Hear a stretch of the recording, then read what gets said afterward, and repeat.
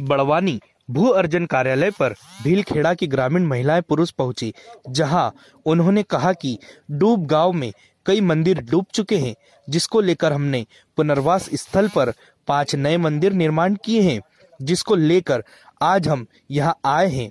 ग्रामीणों की माने तो मंदिर की ज़मीन तो मिली लेकिन अभी तक पट्टे नहीं दिए गए हैं। वहीं इस मामले में भू अर्जन अधिकारी का कहना है कि ग्रामीणों को पट्टे मिलने के बाद ही मंदिरों का काम शुरू करना था।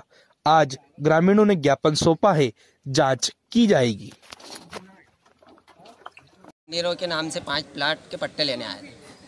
क्या विवाद है वहाँ पे? उसमें विवाद ये है कि अभी सत्रह अठारह में इन्होंने वहाँ पे प्लाट दो मंदिरों के नाम से छोड़े और तीन किसी को दे दिया अन्य लोगों को। और हमने तो 2013-14 से मंदिर निर्माण का काम चालू कर दिया और अभी वहाँ पे हमने पाँच से छः मंदिर बना भी दिए हैं। साठ सत्तर परसेंट मंदिर बन भी गए हैं, उसमें हमने आठ से दस लाख रुपए की पूंजी लगा भी दी है। कुछ भूअर्जन अधिकारी की तरफ़ से हमको दो लाख रुपये की सहायता राशि मिली है मंदिरों के, वो भी लगाए और बाकी गाँव वालों ने मिलके चंदा करके लगाई है।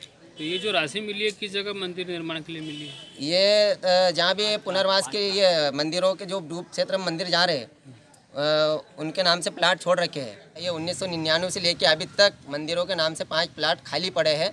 वहाँ सिर्फ़ मंदिरों के ही नाम से है। आज भी तुम लिस्ट उठा के देखोगे तो रिक्त प्लाट मंदिर के नाम से आएँगे ये मेन दिक्कत ये है कि प्लाट के पट्टे लेने आए तो ये कह रहे हैं कि वहाँ पे बोले किसी को दे दिया और आपने अतिक्रमण कर लिया और बिना पूछे मंदिर बना लिए। तो हमने बोला कि हमको पंचायत से प्रस्ताव टेराव करवाया। तो मैडम ने मौखिक तौर पर नहीं दी गई मंदिर ज़मीन तो मंदिर को नहीं दी गई ज़मीन। वो किसी और को आवंटित भूमि है इस उन्होंने मंदिर बना लिया। तो हमारे पास आवेदन है हम जाँच कर रहे हैं निराकरण कर देंगे उसको। मैम ये मांग कर रहे हैं कि पाँच पट्टों की ज़मीन इन्हें दी जाए तो मंदिर मंदिर। दी जाए तो। उसमें इन्होंने आवेदन दिया उसकी एक प्रक्रिया है उसके तहत करेंगे हम काम। कितने मंदिर बन रहे हैं? ये मेरी जानकारी मिली है रिकॉर्ड से मालूम ये लोग बता रहे हैं पाँच मंदिरों के लिए जगह दी गई नहीं इनको दी गई तो इनके पास रिकॉर्ड होना चाहिए ना इनके पास अगर दी गई तो। उसके पास पट्टे भी तो चाहिए। अधिकारी गुहाजी बोलते नहीं नहीं तो बोल गए थे मौखिक से नहीं होता ना आप, तो एनबीटी के पास कोई रिकॉर्ड है कि मंदिर के लिए जगह है वहाँ पर? नहीं मंदिर के लिए इनको इनको भूखंड दिया हो तो लाए हैं भूखंड कि उनको दिए गए। नहीं रिकॉर्ड भी तो तो रिकॉर्ड देखना पड़ेगा ना मुझे विस्थापन हुआ है तो मंदिर को भी हुआ नहीं नहीं होगा। रिकॉर्ड देखना पड़ेगा ना उसको। रिकॉर्ड देख लूँगी मैं।